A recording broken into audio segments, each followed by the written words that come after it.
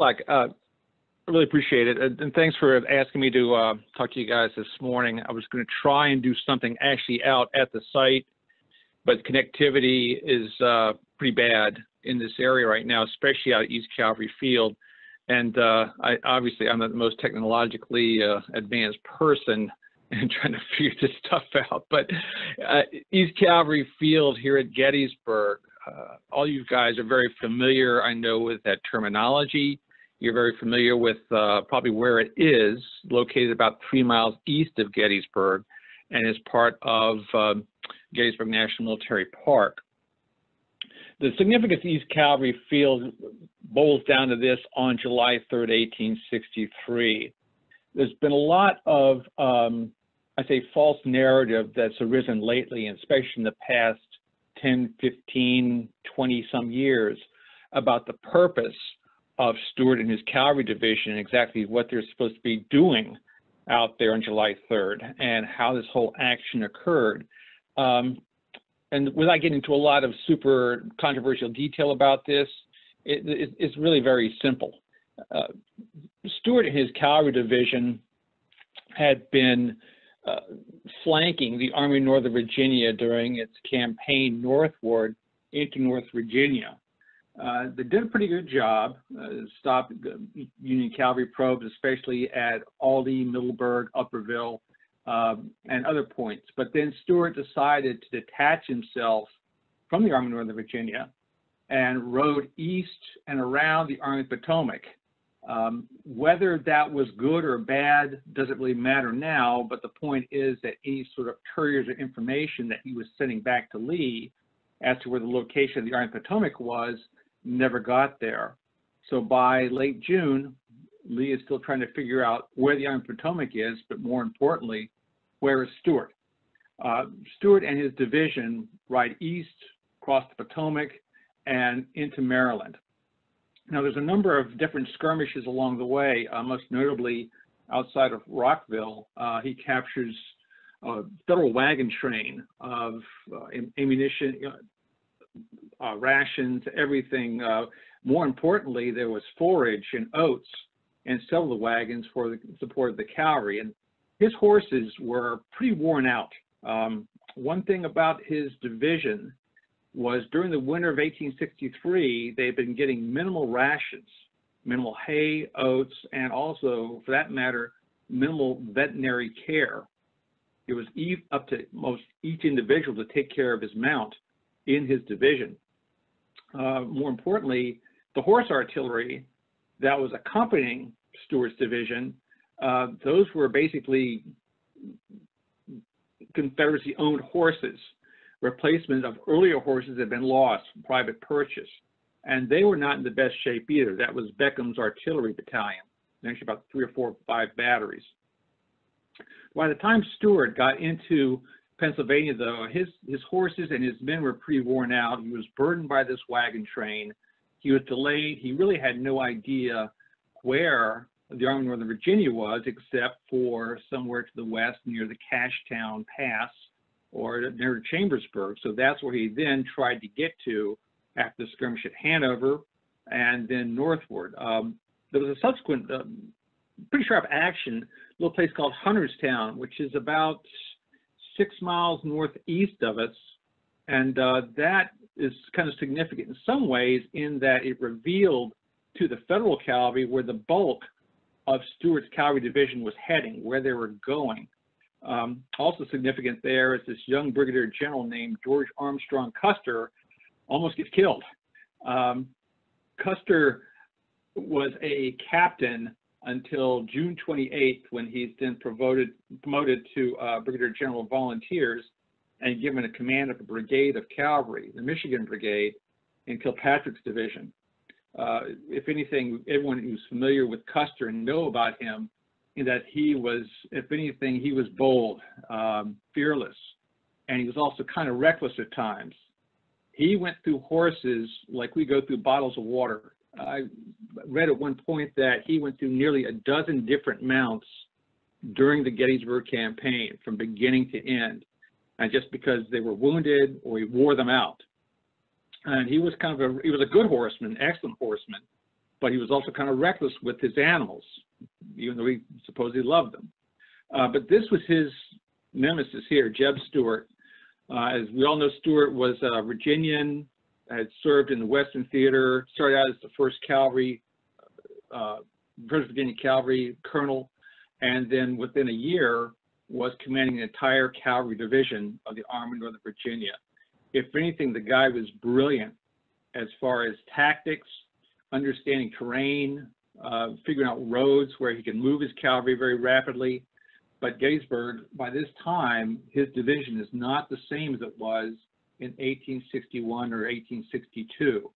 There's been quite a bit of loss as far as battle losses, natural losses, sickness, illness, and he left behind nearly 300 troopers in Virginia when the campaign began because their mounts were dead. They could not get any more mounts.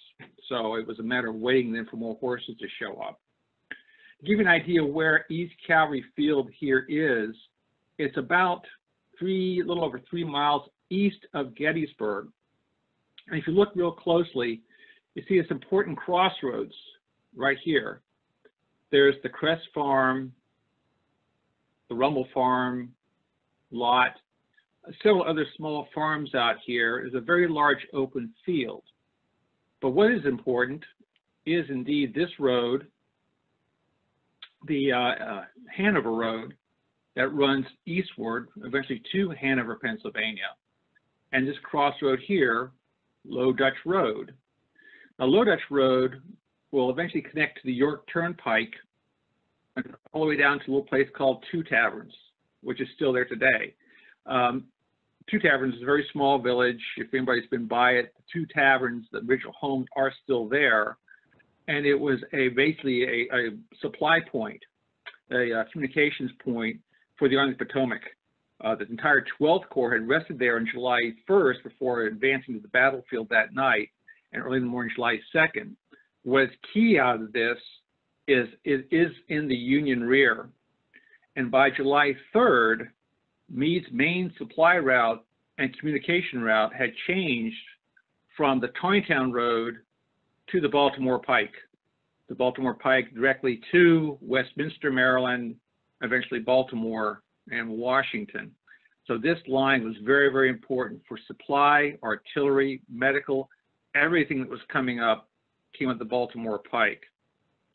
Stuart arrives in Gettysburg around noon on July 2nd and after a very exhausting ride that morning and getting through some close calls at Hunterstown, Hanover, and like that, he's hoping General Lee is really happy to see him. And Lee is frustrated because now he shows up while he's in the middle of a pitched battle, um, not understanding specifically how the Army of the Potomac is arrayed beyond the point of the battlefield, the southern part of the battlefield, and where any other reserves may be. And one of Lee's questions, which isn't covered very often, is where is the federal cavalry? Stuart has no idea except they're somewhere to the east. Um, the controversy then will roll on for years and years afterwards. Did did Stuart fail Lee? And sure he did. Um, through a number of circumstances, number of, of miscommunications. Yeah, he failed Lee. He did not communicate with him properly, communicate with him to know that his messages were delivered and so Lee was literally blind for about a week before the campaign actually began, or battle actually was fought. So as Lee now is trying to think of a plan of what to do on the third and the last day of the battle, he has decided to again test the federal flanks. He'll send Ewell's Corps against the right, Longstreet against the left, and hopefully dash the Union line, break it, roll it up again like he had done the day before. But Subsequent moves, especially at Culp's Hill on the morning July 3rd, threw that plan out the window. Lee will change his strategy. And about 10, maybe 10:30 in the morning, this is when he orders General Longstreet to plan for an attack against the Union Center, which will be Pickett's charge. In the meantime, he has talked to Stuart, and his orders to Stuart are directly to take his division, march to the east, to secure the Army's left flank, and while he's out there, if he can find a route into the Union rear to at least disrupt Union communication, communication and supply routes on the Baltimore Pike, and even, if possible, roll back or capture any sort of Union refugees from the breakthrough that would be hopefully Pickett's charge. Um, so that, that's basically his mission. Stuart's official report, though, is very confusing. Um, he focuses a lot on trying to get into the Union rear, and I think this is where some of the most recent discussion has come up in that was he really trying to get in behind the Army Potomac and in in concert with Pickett's charge, Pickett's division, then breaking the Union line and roll right in there and scare the Army Potomac and send them all scattering. Um, that was not his mission. Nobody in their right mind is going to send an understrength cavalry division of about 8,500 effectives into the rear of an army of 75,000 men and thinking it's going to turn the tide. There was a lot of gamble there anyway, whether Longstreet's assault, Pickett's charge, was going to work in the first place. Lee was confident it would, but he did not want to sacrifice his cavalry division and send them into the rear like that. That's that's ridiculous. Nobody nobody in the right mind would do that. Uh, others have come about and said, well, that was Lee Lee's plan. Most notably, Thomas Carhart um, in the book uh, Lee's Real Plan at Gettysburg. Um, a lot of it is based on a former staff officer, Henry McClellan, who served under Stuart and wrote years after the war that, oh, that was our mission, was to go into the Union rear. McClellan was never absolutely uh, specific as specific what their job was supposed to be, apart from going in behind the Army of Potomac. Yeah, well, well, good luck with that. Um, you know, 20 years afterwards, you can write all sorts of stuff and make it sound believable, and, and no, it's not. So Stuart takes these orders.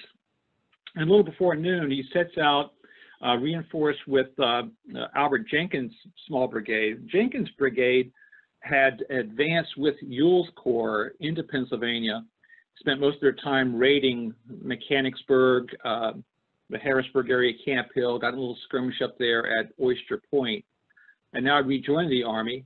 Um, Jenkins was wounded, so it was under another commander, but reinforced with Jenkins Brigade, they head east and then cut south and scout this area. The, the scouts were saying that we found Low Dutch Road, we found the connection to two taverns, and Stuart will decide to try and find this small farm, the Rummel Farm and the Crust Farm.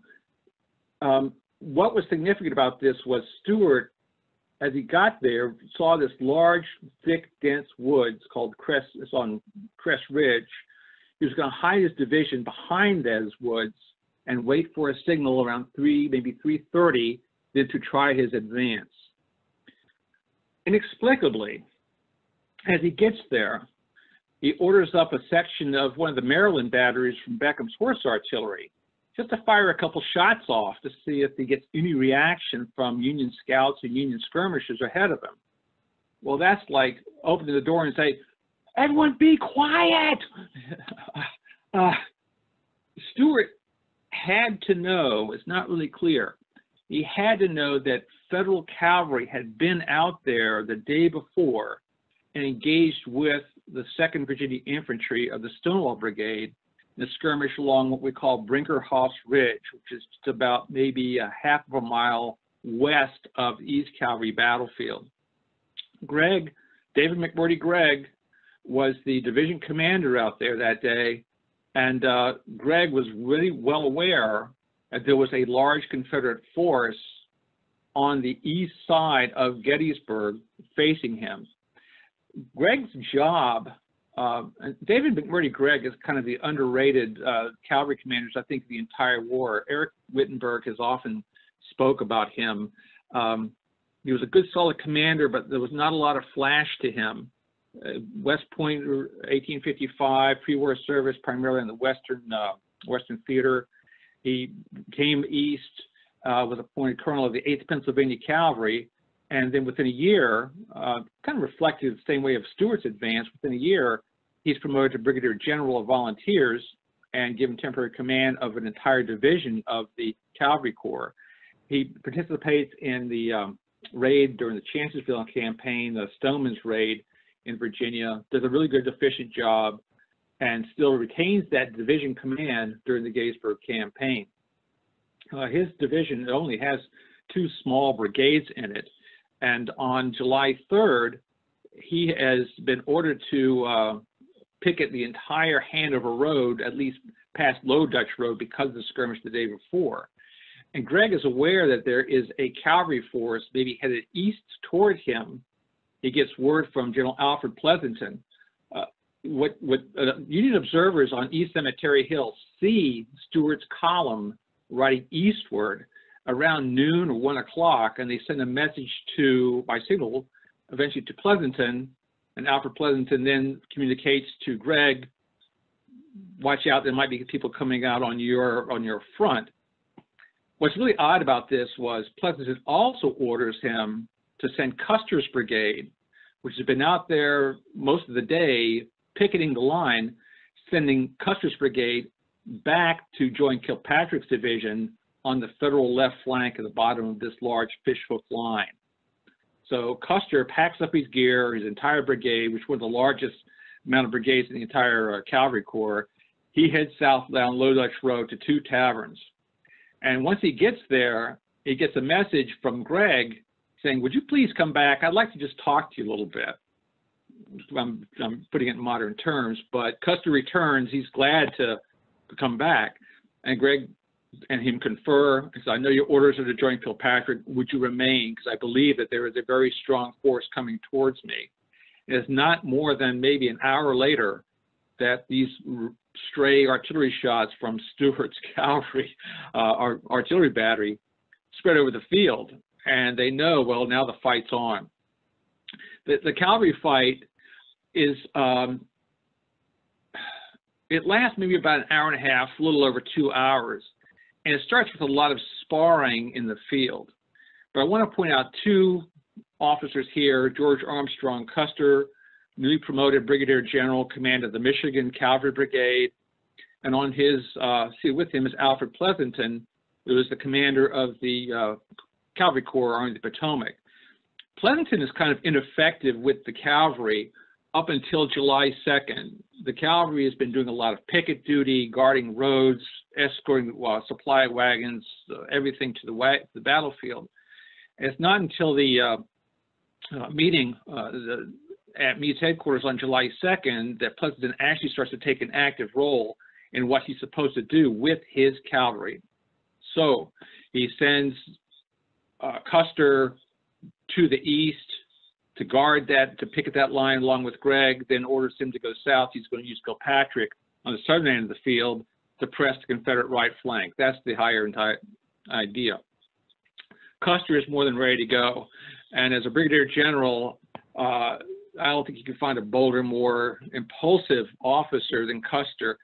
And he had proven several times before as a lieutenant and later as a captain, he was more than happy to take his mount right to the very front and lead these gallant charges, which he did at several times, uh, especially at Aldie, uh, Virginia, during the campaign into northern uh, Virginia and eventually into Maryland and Pennsylvania.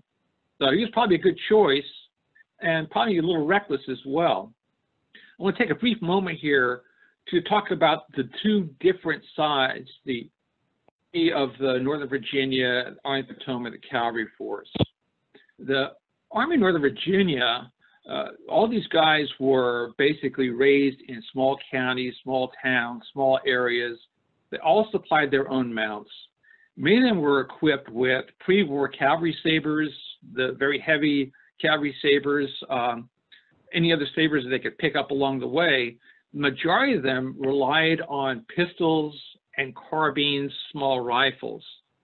The average weapon in the uh, uh, Stuart's Cavalry Corps actually was the muzzle-loading small short pattern Enfield rifle, a little what we call the artillery rifle, or the two-band Enfield rifle, also called the artillery rifle. Uh, muzzle loaders. Uh, a lot of them had captured Sharps, Merrills. Uh, I, I, read where several had Smith carbines had been picked up uh, during the campaign. So they used them if they could use the ammunition. There was Confederate ammunition getting to, for these different calibers, getting to the Army Northern Virginia Cavalry Corps. But so it was a, a wide array of armament versus the Union side. Typical Union cavalryman had a model 1860 light cavalry saber, a Colt pistol, a Colt pistol, a 45, 44 caliber, whatever it was, as well as a Sharps, Merrill, or a um, other unique type of carbine, Smith carbine.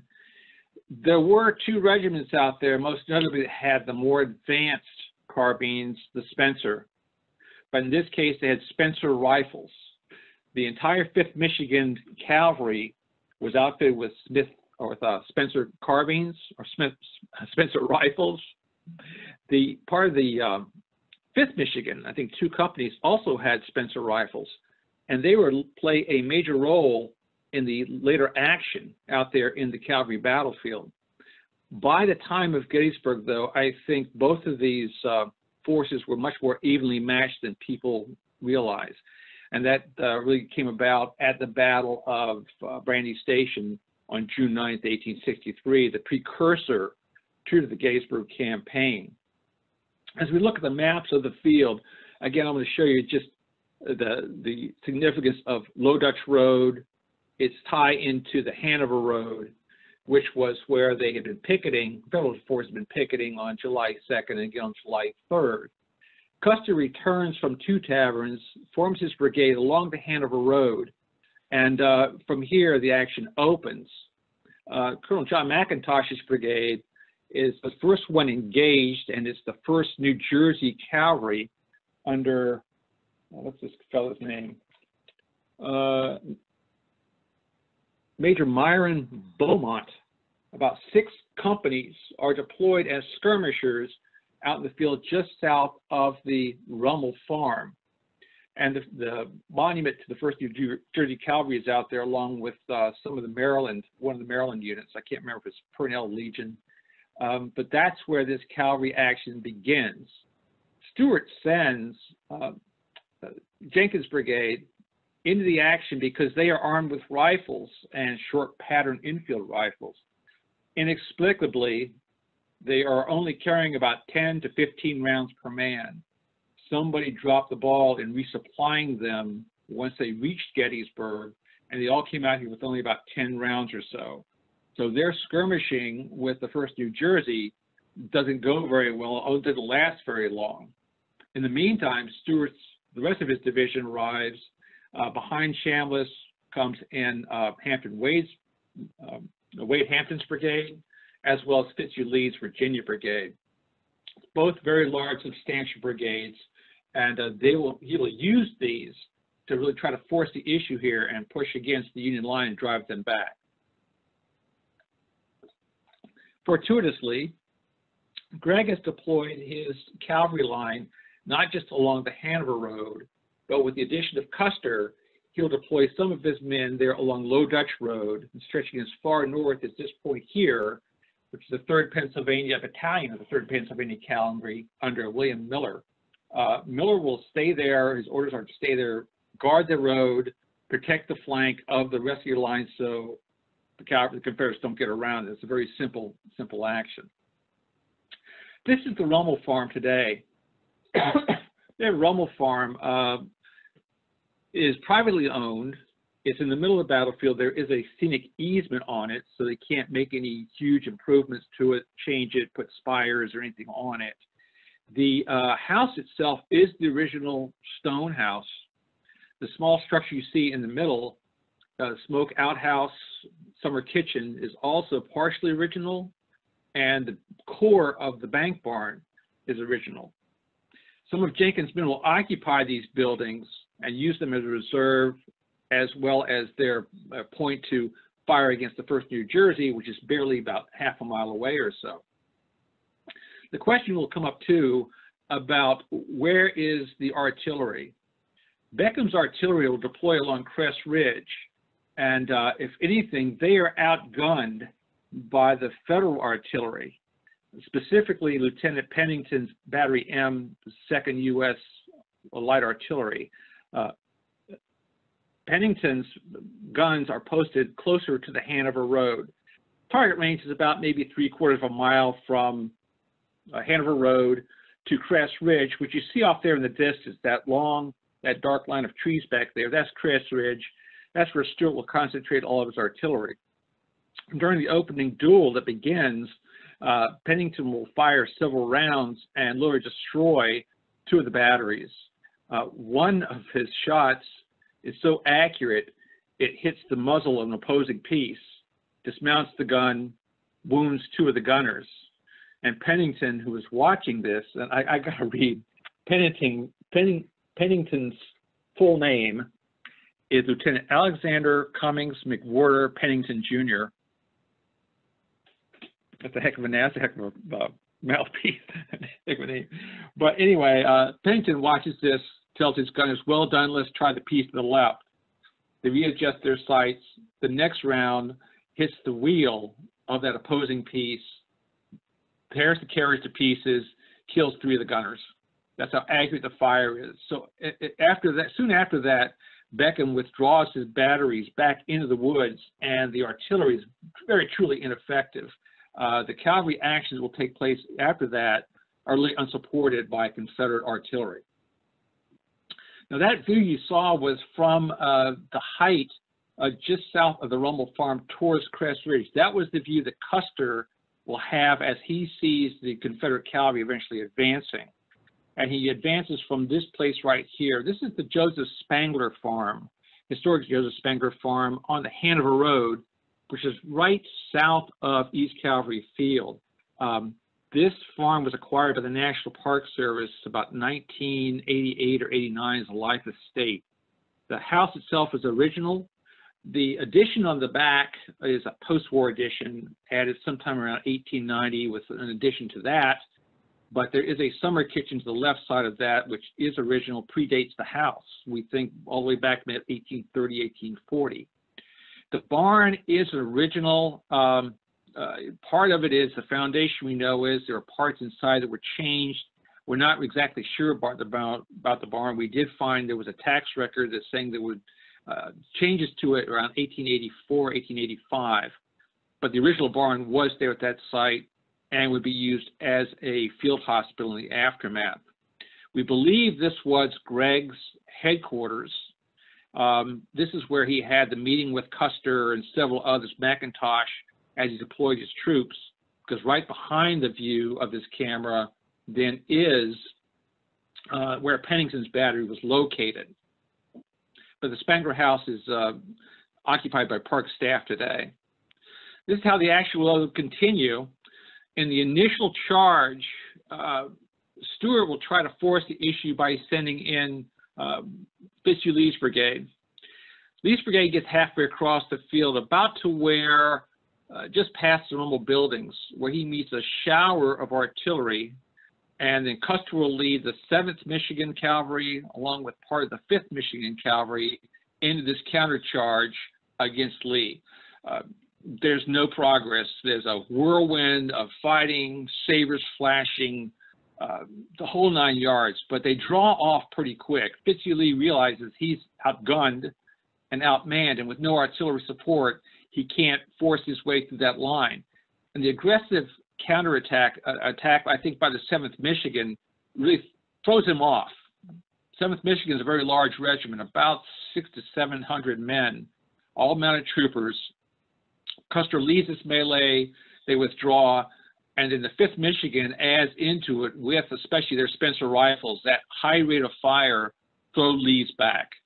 Now in this map, it shows uh, these Virginia units over here to the left, Witchers, uh, mostly from men from Jenkins Brigade, and for the most part, they have no small arms ammunition except for their pistols and their sabers. That's all they've got.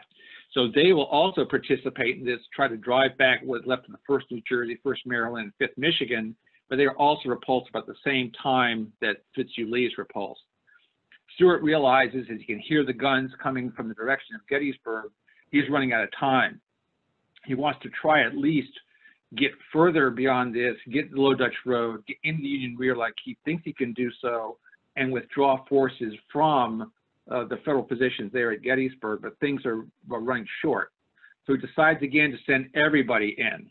He'll send in Wade Hampton's brigade, along with Fitzhugh Lee's brigade and part of Chambliss' brigade, in this huge charge across the same field. which is what you see here in this particular map. Custer has withdrawn the 7th Michigan and uh, pulled them back.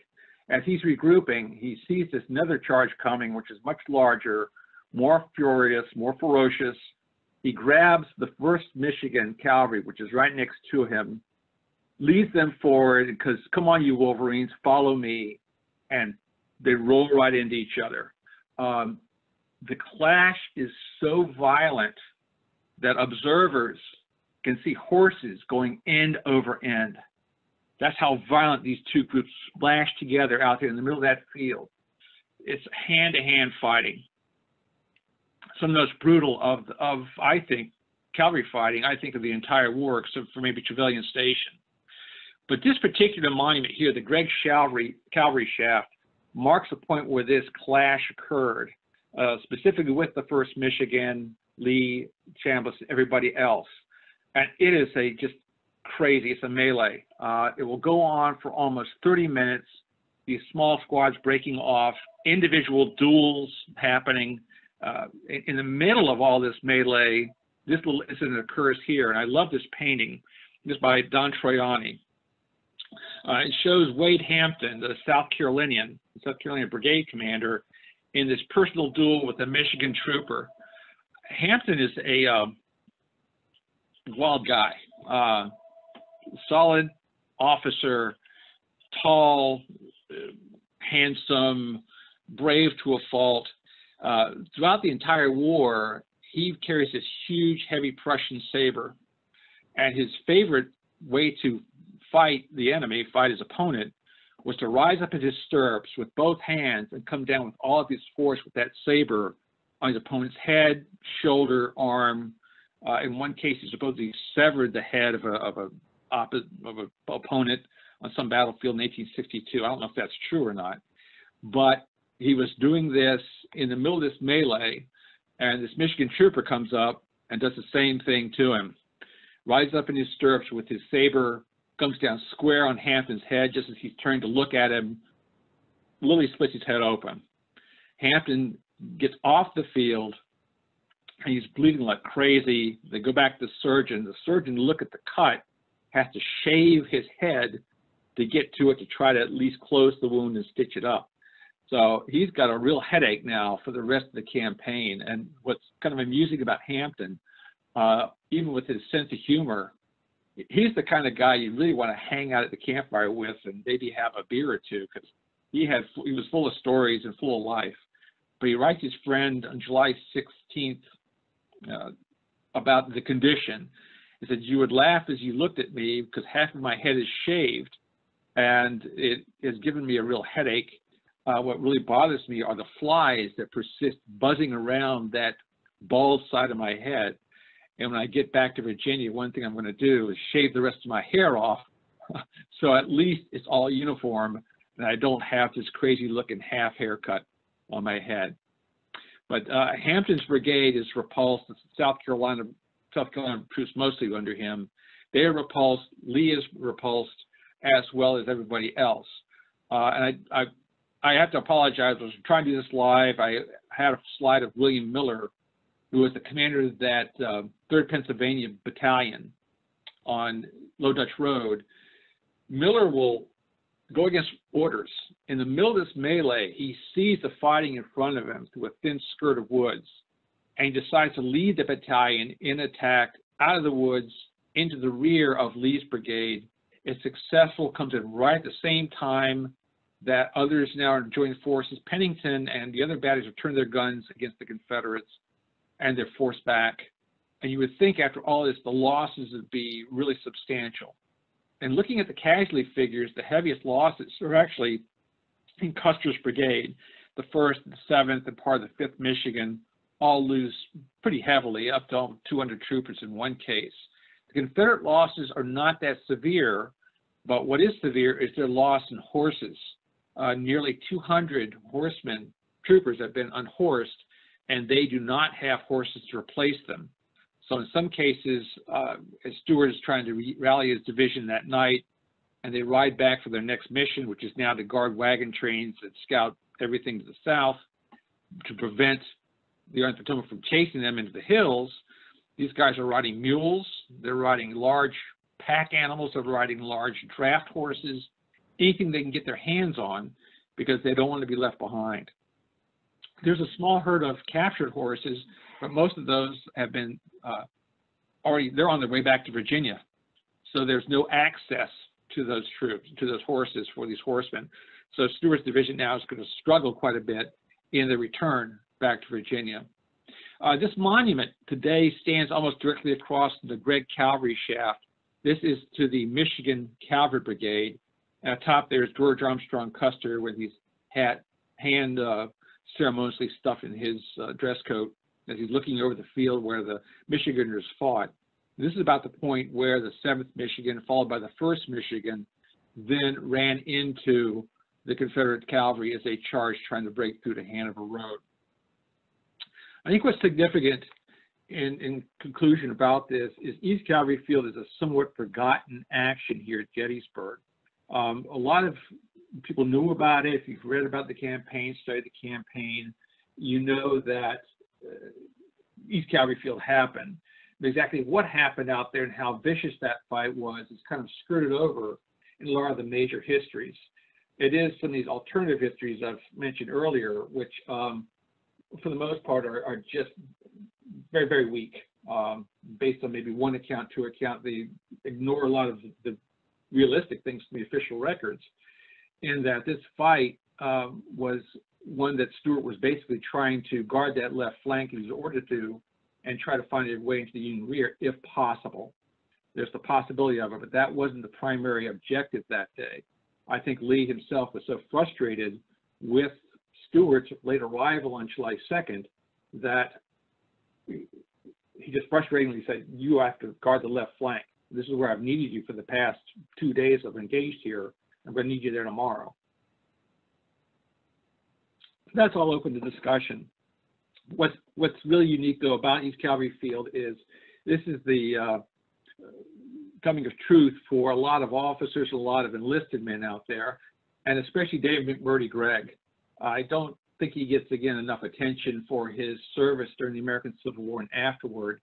This particular photograph, I love this, was taken during the dedication of the Gregg Cavalry Shaft uh, in 1884, which you see there in the background, along what is now was at the time Gregg Avenue.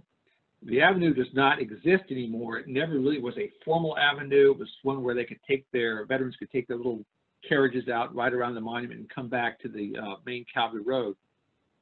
But standing there in the foreground in the tall top hat is indeed David McMurdy Gregg, along with his comrades of the GAR.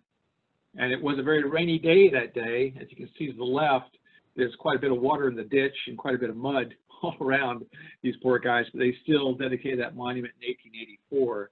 And it is one of the earliest monuments out there on East Cavalry Battlefield. Uh, we are fortunate in that the majority of the um, structures in some of the important farms still exist, even though they are in private hands except for the Spangler farm. The Rummel farm has been protected by the people that live there. They really love the history, enjoy the history of it. The Lot farm, uh, which is another farm just to the east of the Michigan Brigade Monument, still exists. The house is original, but the other structures are, are long gone. Um, there are efforts out there by the American Battlefield Trust and others to secure more property around it because there is construction going on even as we speak. Two new homes have gone in, one right against, uh, right along Low Dutch Road, another right adjacent to the Spangler Farm. And there are plans down the road for more construction out there, probably private homes, um, the home complex just on the east side of the field, which granted is going to take away some of the view shed. It's not on actual battlefield site, but it does take away the view shed that you would have if you stand up there to look around the field and get a panorama from the Gregg Cavalry shaft, as well from the uh, Custer Brigade Monument. So the result of East Cavalry Field is, as some people call it, a draw. I think not so much. I think Stuart got a real bloody nose out there thanks to primarily the action of one man, that's George Armstrong Custer. And unfortunately, everybody remembers Custer for the debacle at Little Bighorn. If anything, Custer should be remembered for a lot of the things he did during the Civil War, which was as a hell of a uh, mounted trooper leader, a cavalry leader. Uh, up to this point, the old slogan was, as we all know, infantry, you never see a dead cavalryman. Uh, anybody in the Gettysburg campaign saw a lot of them on many different fields, and there were a lot of them right here at the site of the Gregg Cavalry Shaft, East Cavalry Field near Gettysburg. Uh, hey, thanks, thanks for your patience, guys. And I'm sorry this is kind of thrown together at the last minute. I should have known better. But uh, if anybody has any questions or comments, I'll try and answer them for you. I have Okay, a well, thank- question. Thanks, John, and um, I think uh, there are a number of questions, so I'll let uh, them go. Go ahead, Brandon Kelly.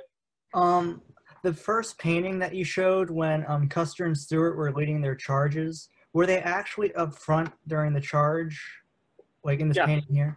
Th- This particular one here, Yes. yes, Custer was right in front of the line. Uh, Stuart, Stuart was never out in the field. He was out behind Cress Ridge trying to direct the troops there. That's where he did most of his observations. But Stuart never physically went out into the field in any of these charges. But the guys that did go out, Hampton, Fitzhugh Lee, uh, Chambliss, a few others, um, they did not lead from out front. So this is really an artistic impression of some fancy guy in a Confederate uniform leading the charge. It could be a colonel, captain, whatever. Um, and I have to confess, I, I worked with Mort Kunstler on this particular illustration years and years ago. I said to him at that time that um, Custer was out front. I gave him the information about Custer's uniform, what the first, what the Michigan troopers were carrying, all that stuff. Uh, and he just said, well, no one would believe it if you don't have some fancy Confederate officer out there with a plume in his hat leading the charge. Uh, and I said, well, just don't make it Stuart, whatever you do. Is that the one you're talking about? Yeah, yeah. Um, I thought that the, with the plume, I thought that was Stuart, so I wasn't sure. No, Stu- Stuart was back again, back on Cress Ridge, kind of smoking and joking with his staff. Okay. I think probably scratching his beard, wondering what the heck is going on out there. Chip, go ahead. Hi, John. Quick question. You always hear about Stuart, you know, failing Lee. After the battle, was there any repercussions for that? Did, you know, other officers blame Stuart? Um, obviously he died a year later, but, um, you know, really what was the after? after the war. That's, that's an excellent question, Chip. Uh, when did the finger pointing start? Um, th- there was some consternation in Confederate circles after the campaign had ended as to exactly what Stuart's role was. Did he drop the ball? Did he fail? Which I, I think he did. Um, but most discussion was kept out of the public circles. It's after the war, after 1865, 66, when the lost cause is now raising its somewhat ugly head to try to justify all the losses, all the failures of, of the Confederate forces in the Army of Northern Virginia, any army. But that Stuart then somewhat relegated to the point of, well, what the heck was he doing in this campaign, not doing his job? Uh, and that's when also finger pointing was going back and forth about James Longstreet, uh, many others. But right, I think the most significant thing is right after the end of the campaign, some of the most dramatic changes really occur in the infantry corps rather than the cavalry corps. Stuart will retain his command. He's not chided for anything or not questioned by anybody. I think Lee is very, very lenient, uh, maybe a little over lenient with Stuart. Um, and I do think because he, he adored Stuart. I, I really think Lee had all the respect in the world for Stuart, what he had done with his scratch force of Virginia, South Carolina, North Carolina troopers, throwing them together as big mass, the way he led them. And it's, in some cases, sure, he had Witcher's 35th Virginia Cavalry Battalion, which were kind of like the Hells Angels of the Cavalry Division. Uh, very hard to control. Uh, Albert Jenkins Group, which was Jenkins himself. Uh, and, Jenkins occupied himself during the first part of the campaign, rounding up three and one runaway black uh, slaves, African Americans in Pennsylvania, and shipping them back. So that actually stripped away some of the resources that Lee could have used, Stuart could have used, actually for July 2nd, 3rd. Uh, but again, I think the real controversy comes in the 1870s, again, the 1880s, as they're throwing things back around as to who was at fault for the loss of the Gettysburg campaign. And nobody, but nobody wanted to say, well, it was Lee. Colonel Downs, you had a question? No, actually, John answered it because I was going to say, didn't Lee have other resources? But John pretty much answered that question.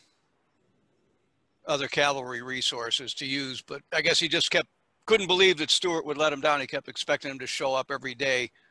But then John answered the other question. They were on other assignments. I, think uh, Mac, uh, not McIntosh, but uh, there's two other, three other cavalry units that show up, and I'm I, Imboden's Imboden's command. Um, they arrive late in the battlefield, and they wind up escorting the wounded wagon, wagon full of wounded, back to Virginia. They have no real role apart from uh, taking over some, guarding some federal prisoners in the wagon trains back to Virginia. Uh, I think there's just a total failure on the way, the cohesiveness of the cavalry during the army, uh, during the campaign army of the Northern Virginia Cavalry, that fails. That totally fails. Um, and the, the most critical aspect really comes from infantry officers, especially guys like Longstreet, uh, Jubal Early, and even a few others that they, kind of scratch their heads and like, if you were supposed to be here giving this information, be that as it may, without going to a long discussion, I think Lee's biggest disappointment was not getting those daily dispatches or that information from Stuart as to where the Army Potomac is during the early part of this campaign throughout June. Lee had no idea the Army of the Potomac was concentrated around Frederick until June 28th. And that's when he then orders to bring in all these forces. We got to concentrate at Cashtown, guard the passes. We'll use that as our defensive line or also offensive line. And Stuart's nowhere to be found. Paul Martinello, you can go and Brandon, when when that question is answered, you can jump in with your next one.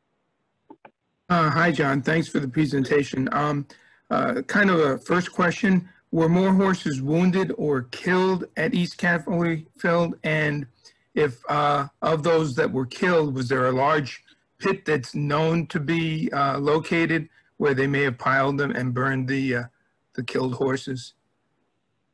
I, Paul, I think the majority of the horses that were wounded uh, were left behind. I know there was a herd of wounded horses taken back by dismounted troopers to two taverns, uh, July 4th and July 5th. That's where the veterinarians were working. Um, one of the veterinarians, I remember there's an account, and I believe that, I, I believe it was attached to the 1st Michigan or the 5th Michigan. He was actually up on the battlefield the day after treating some of these wounded horses the, the number I heard, and I've never been able to substantiate this, Tom Holbrook may know, was around 200 horses were killed or had to be destroyed uh, from the fighting out there on July 3rd. Those that were killed on the field were stripped of their equipment and the carcasses left behind. As late as uh, three weeks later, there's still horse carcasses laying out there. They didn't bury them. Uh, if anything, the farmers finally just dragged them into piles and tried to burn them all. Where these burn sites were specifically, we've never done enough archaeology out there to know. And I don't think you'd find anything without a lot of looking. Thank you, Brandon, John. Brandon Kelly, you're up, and then uh, Parvis. Hi, John. Brandon. Um, I had a question. I arrived during the middle of the presentation, so I'm not sure if it was covered earlier. But um, I was curious about with Lee having so much trust in Stuart, and then with Stuart not responding, like, um, did Stuart ever say what his reasons were for not keeping in communication with Lee and the rest of the Army in Northern Virginia? No, he never defended himself. his his official records are just kind of confusing. Um, his final report and his communications in volume three are, are just kind of scattered haphazard. I think he tried to defend himself, although I sent couriers I sent messages to you, General Lee, and well, the couriers never got there. Um, so if he did send couriers, they were either captured or killed along the way, but there's no record of what was in these dispatches that Stuart supposedly sent. I think in the moment, especially after capturing that wagon train um, near Rockville, that he was so far away from Governor of Virginia, not really knowing where the Governor of Virginia is, except for somewhere to the west of him. But if he sent a dispatch rider to try and find them, it would have taken three or four days to get there, and then it was too late. Uh, there's so much going on because he knows there's federal cavalry ahead of him. He thinks militia, which he's going to just drive away, but actually is part of the cavalry force of the Army of Potomac pursuing him. And that's how, in a roundabout way, the Battle of Hanover happened. Kilpatrick's division shows up in Hanover. They're running around scratching their heads and wondering what's going on, and they're just going to ride on. And all of a sudden, Stuart's division shows up behind them as shells and attacks and captures half of Kilpatrick's wagons. It's just, it's crazy. It's chaos. Uh, so I don't think Stewart really was able to ever to defend himself, um, or never really was called, called on the carpet to defend himself with anybody. It's one of these things Lee just kind of shuffled it under the rug. Okay, yeah. Thanks. I was always curious about that because, like in the movie, like you said, uh, General Lee, there were reasons, but he never said what they were. Yeah, I, I had to make a pit stop or something. It, I don't don't rely on the dialogue of the movie for anything. Um, I think Stuart was was glad to be there to see Lee, but the there's several versions of this confrontation. Some say that oh Lee welcome Stuart, grabbed him, shook, oh it's good, so good to see you. Where the account comes later from uh, Mumford that no, Lee was very cold. Mumford was there and related to someone else that no, Lee was very cold to Stuart and said, those wagons are an impediment to me now. Basically, what do you want me to do with them?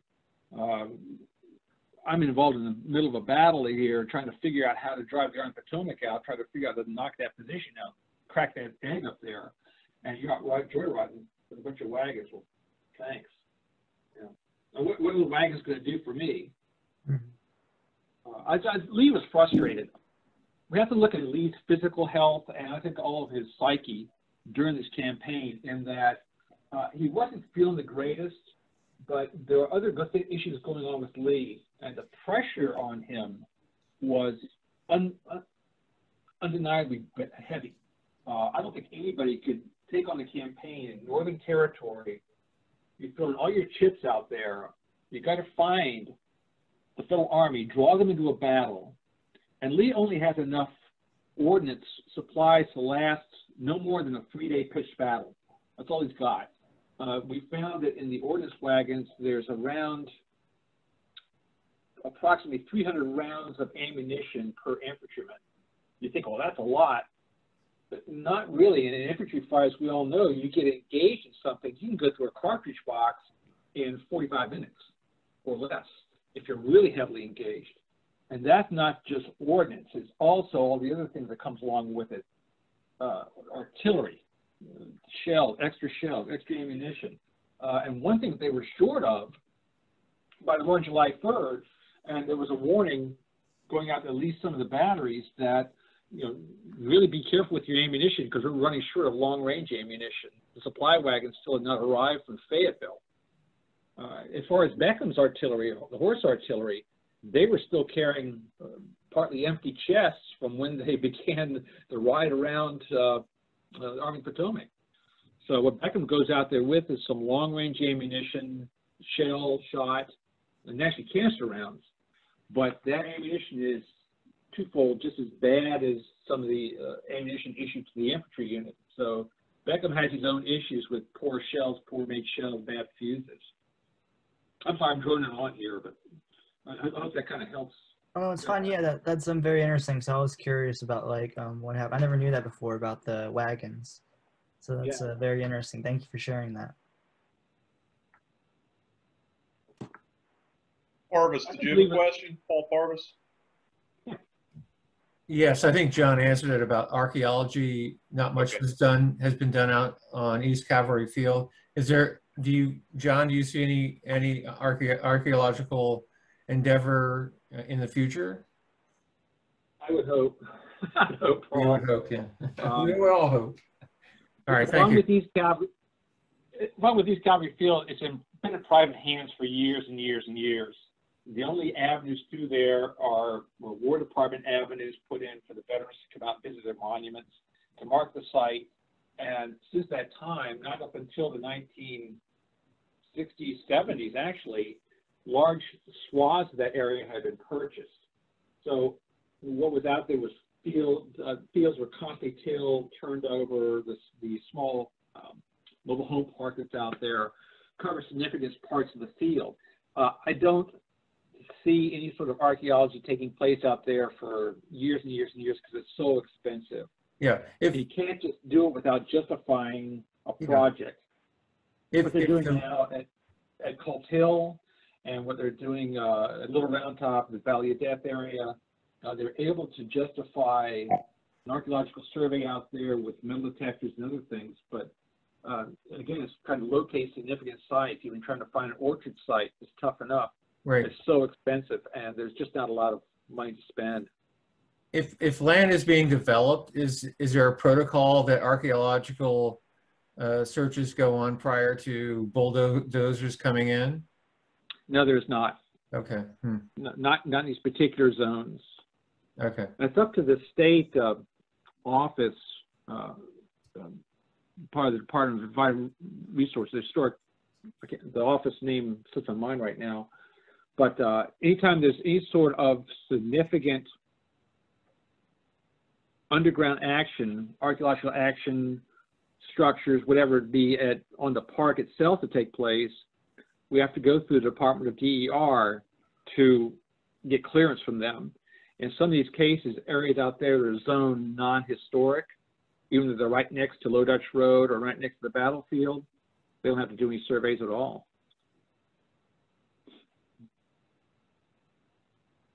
Hope that answers the question there. So, I, I, I'm not so sure we should be Sorry, John, didn't mean to interrupt. Didn't mean to interrupt the you, John. Go ahead. development out there, but uh, I, I really hope that it can be kind of curtailed and, and pushed elsewhere.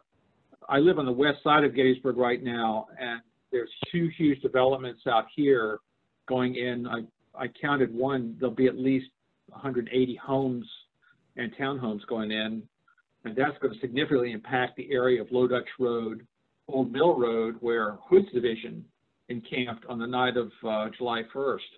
So that's, I think that's in some ways sadder and more sig- significant a loss.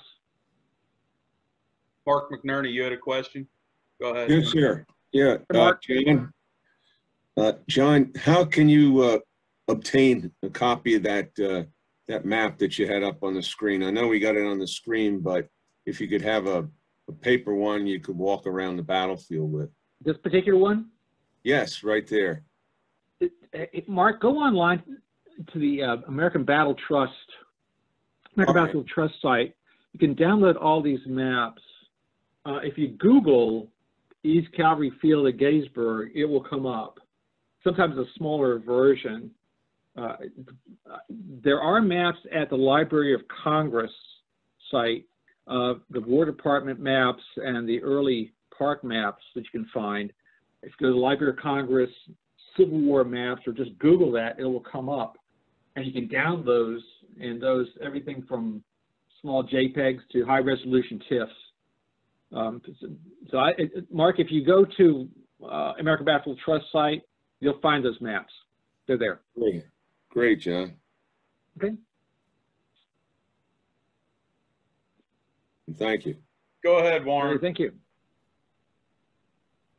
Hi, great, great talk. Um, Are there any personnel available to give uh, tours over on East Cavalry Field? As far as park staff, it's hard for me to say right now. I, I, I retired a year ago, and um, I, I'd love to take you guys out there. if when the pandemic is over and we all have our shots and all that's taken care of, um, next time we get together, I'll be glad to take you guys out there to East Calvary Field or anywhere on the battlefield. anywhere you want to go. Um, just just name the time so I can plan ahead. But uh, right now, to, if you want a specific tour of East Calvary Field, there are people like Tom Holbrook. Uh, Tom knows a heck of a lot about the Calvary fight out there.